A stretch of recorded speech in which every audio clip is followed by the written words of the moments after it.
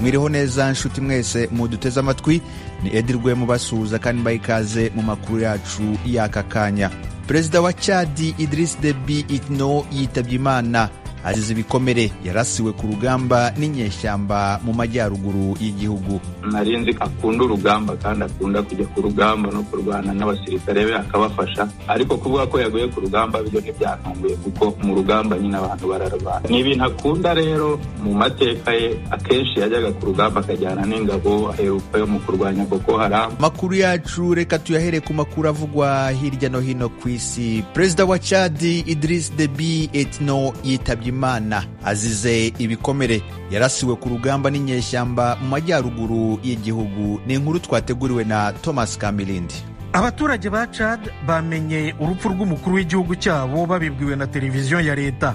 Umuvugizi wa gisirikari general azem aguna ni we wasomye itangazo rivuga ko perezida idris debi yashizemo umwuka arwanira ubusugire bw'igihugu cye ku rugamba. Idris debi wari ufite imyaka mirongo itandatu n'umunani y'amavuko yarasiwe mu mirwano n'inyeshyamba z'umutwe witwa front pour l'alternance et la concorde au Chad mu majyaruguru y'igihugu. Apfuye yarakimara gutorerwa manda ya gatandatu na yo y'imyaka itandatu. Yari amaze imyaka mirongo itatu ku butegetsi. Umuvugizi w'igisirikare cya Chad yatangaje ko itegeko nshinga n'inteko ishinga amategeko bisheshwe kandi ko ingabo z'igihugu zishyizeho inteko y'abasirikari bo hejuru izayobora igihugu mu gihe cy'inzibacyuho cy'amezi cumi n'umunani. Iyi nteko ikuriwe n'umwe mu bahungu ba Idris Deby General Mahamat Deby Itno w'imyaka mirongo itatu n'irindwi y'amavuko. Perezida wa chad idris debi itno yitabye imana azize ibikomere. Yarasiwe ku rugamba n'inyeshyamba mu majyaruguru y'igihugu. Ibi byemejwe kuri uyu wa kabiri n'umuvugizi w'ingabo z'igihugu. Apfuye yari akimara gutorerwa manda ya gatandatu. Yari amaze imyaka mirongo itatu ku butegetsi. Jean damascene hakuzimana ni umunyamakuru w'umunyarwanda wakoreye ishami ry'umuryango w'abibumbye muri chad. Ubu akaba yiga muri kaminuza ya new hampshire hano muri leta zunze ubumwe za amerika. Kuri we kuba perezida debi yishwe arasiwe ku rugamba ntibitangaje kuko yajyaga kenshi ku rugamba.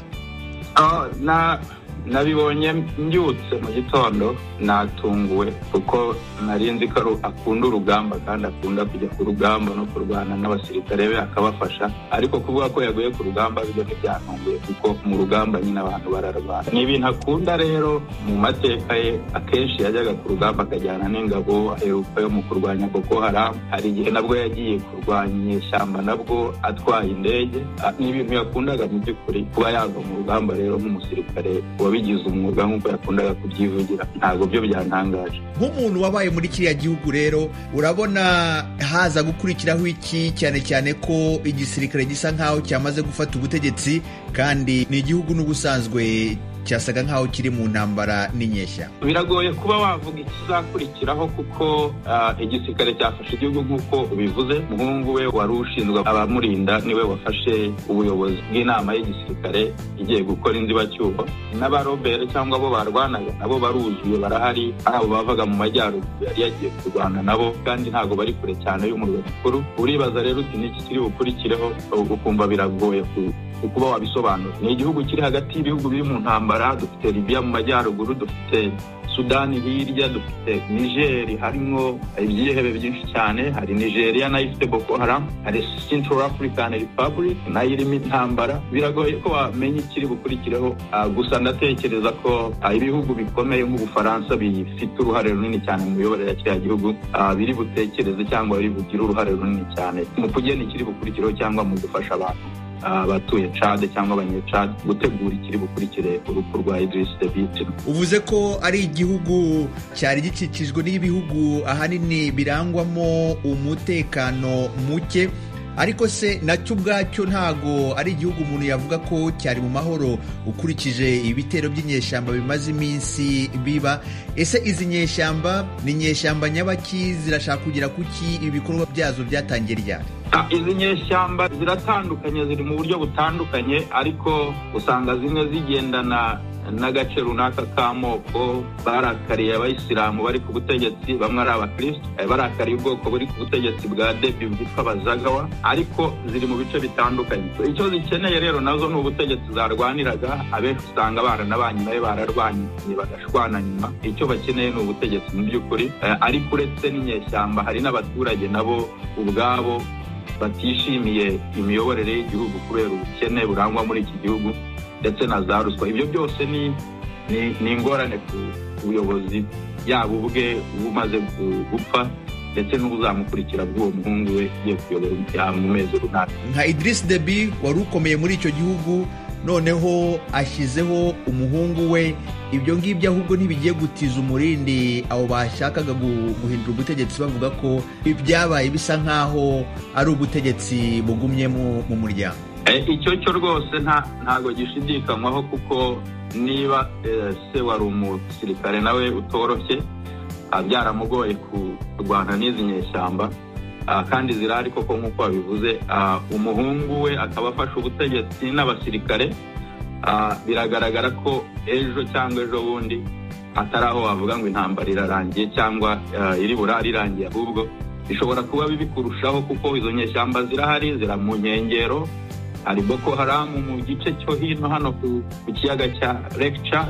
Ibyo byose n'izindi nyeshyamba ziri mu bice bitandukanye kuva za sudani ibyo byose bishobora gutuma ibintu biba bibi kurushaho ingenekereza uko ndi kubireba. Hanyuma se uruhare rw'ibihugu bituranye na cyadi rwo rwifashe gute? Dore ko hari igihe cyadi yigeze no guhagarika umubano na sudani iyishinja ko yari ishyigikiye inyeshyamba zashakaga guhirika ubutegetsi bwa Idris Deby.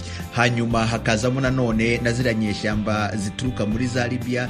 Biroroshye cyane ko wahita ubihuza kubera ko Idris Deby mu bigwi bye harimo kuba yaratsinze ingabo za Libya inshuro nyinshi cyane hanyuma aza gucudika na Gaddafi. Ariko nyuma y'aho Gaddafi apfiriye Libya yabaye igihugu wavuga kitari ku murongo kirimo inyeshyamba nyinshi cyane. Biroroshye cyane ko inyeshyamba zirwanira muri Libya zihuza n'iziri ku mupaka cyane ko n'izi ngizi zamanukaga ziva ku mupaka wa Libya. Biroroshye cyane ko bihuza bakagira icyo wakwita nka safe territory cyangwa bakagira aho bakontroling hanyuma Sudani na yo nk'uko wari ubivuze na yo yigeze kuba icumbi ry'inyeshyamba zitari nkeya ntekereza ko n'ubu ngubu bikiri byo. Hanyuma mu gusoza filose umuntu yavuga ko Idris Deby asa nk'aho asize amateka acyagase nk'umuntu wabaye muri kiriya gihugu nk'ikintu wumva abanyacadi benshi bazamwibukiraho ni nk'iki? Idris Deby muri iyi myaka ni umusirikare warwanya intambara nyinshi cyane kandi yakundaga kubisubiramo yuko yatanze imbaraga ze kugira ngo abohote iki gihugu igice kimwe yesi kirabyemera kiranabikunze cyane. Yari n'umuyisilamu kandi igihugu kirimo abayisilamu batari bakeya. Bazabimwibukiraho ko yagaruye agahenge n'umutekano mu myaka nabayeyo mu gihe nabayeho hari hari umutekano. Uwo mutekano uzaba kimwe mu byo bazamwibukiraho. Ariko mu mateka ye nanone ubukene bw'igihugu ruswa mu gihugu nawe ubwo yigeze kuvugwa muri ruswa ya miliyoni ebyiri z'amadolari kuva mu bushinwa mu myaka yashize kugira ngo atange isoko ryo gucukura ibitoro. Ibi byose ruswa gutonesha n'ubukene mu gihugu ibi byose na byo birajya mu mateka ye asize mu gihugu. Filosi ndagushimiye cyane kubw'akanyu uhaye ijwi ry'amerika kugira ngo tuganire. Murakoze cyane digwema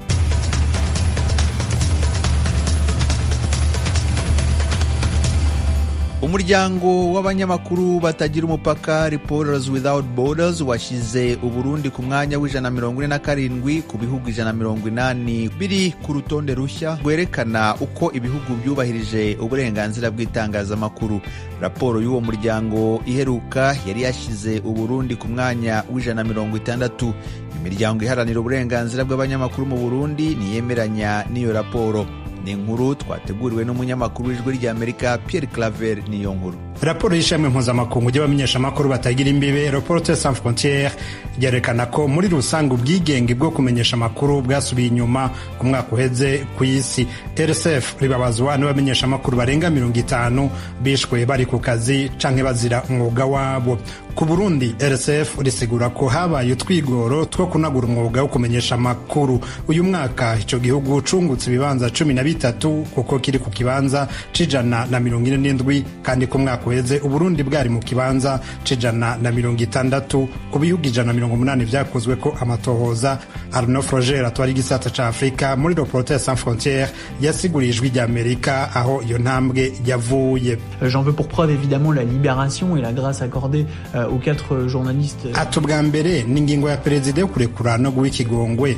Abamenyeshamakuru bane b'ikinyamakuru iwacu bari bamaze umwaka urenga bafungiye ubusa. Ugushaka kwa perezida ko kugurura amaradiyo yugawe ndetse imwe muri zo bonesha fm ikaba yaramaze kugururwa. Igisata c'ikimenyeshamakuru iwacu naco nyene caruguruwe. Ibiganiro byaratanguye kugira ngo amaradiyo mpuzamakungu nka bbc n'ijwi ry'amerika yugururwe n'ibindi. Twizeye ko utwo twigoro tuzobananya kugira ngo abamenyeshamakuru bakore bigenga. Euh, euh, naho biri uko urunani rw'abamenyeshamakuru ibeji iniyo burundese de journaliste rwogo siko rubibona alexander niyunge ko arongoye ibeji yabwiye ijwi ry'amerika ko ahubwo ku rubuga ubwigenge bwasubiye inyuma cane. Ni agahengwe na kamwe jewe mbona umuntu yovuga kuko uwovuga ngo bishimikije ko hari abamenyeshamakuru b'iwacu bari bafunzwe hama bakarekugwa. Ivyo vyoheza bishimwa ko abantu bari barenganijwe hama bagasubizwa mu gateka kabo. Umuntu yofata ngo ni intambwe iteye imbere. Turavye naho twofatira ko radiyo bonesha na yo yari yugawe hanyuma bakayirekura igasubira gukora na yo nyene nuko nyene kuko kari akarenganya nta muntu rero yorenganya umuntu hama ngo bucaca avuga ngo bwangu ibintu ubu vyagenze neza. Iyi raporo irashimwa n'ubushikiranganji bwo kumenyesha amakuru mu burundi. Umukozi mukuru muri ubwo bushikiranganji yabwiye ijwi ry'amerika ko iyo raporo yerekana neza ingendo ya leta yo kunagura imigenderanire n'icizere mu mwuga wo kumenyesha amakuru. Yamara yanse kuduha ijwi atubwira ko raporo ubwayo yivugira ukuri kuhari. Na sendika y'abamenyesha amakuru mu burundi yavutse mu mwaka uheze. Burundian journalist alliance yashikirije kuri mikoro y'ijwi ry'amerika ko naho hakiri agahaze uwo mwuga wateye imbere. Merikio nicayenzi atwara iyo sendika.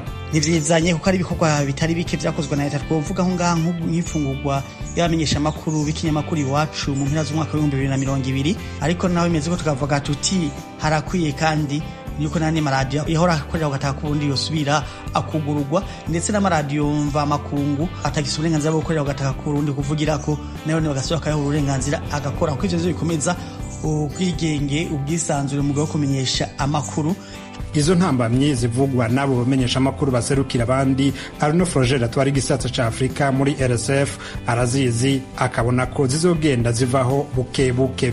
La question des médias suspendus et sanctionnés euh, à régler. Kugurura amaradiyo yose yugawe mu mwaka w'ibihumbi bibiri na cumi na gatanu abamenyeshamakuru barenga ijana bahunze ubu bifuza gutaha guhagarika ubukozi bw'ikibi bukorerwa abamenyeshamakuru nka jean bigirimana wa iwacu haheze imyaka itanu atawuzi irengero ryiwe abaterwa ubwoba n'ibindi. Ivyo byose bisaba ugushaka kwa politike kandi turatera intege umukuru w'igihugu mu nzira yafashe kugira habe ubwigenge koko bwo kumenyesha amakuru. Evariste Ndayishimiye a continué dans cette direction. Mu karere ka afurika y'ubuseruko uburundi burimo rsf byerekana ko ubwigenge bwo kumenyesha amakuru butateye imbere. U rwanda rwarasubiye inyuma ikibanza kimwe buja ku kibanza c'ijana na mirongo itanu na gatandatu. Tanzania cagumye aho cahora mu kibanza c'ijana na mirongo ibiri na kane. Ubuganda nabwo nyene bwagumye aho bwahora ku kibanza c'ijana na mirongo ibiri na gatanu. Pierre clave niyo nkuru kigali ku bwijwi ry'amerika.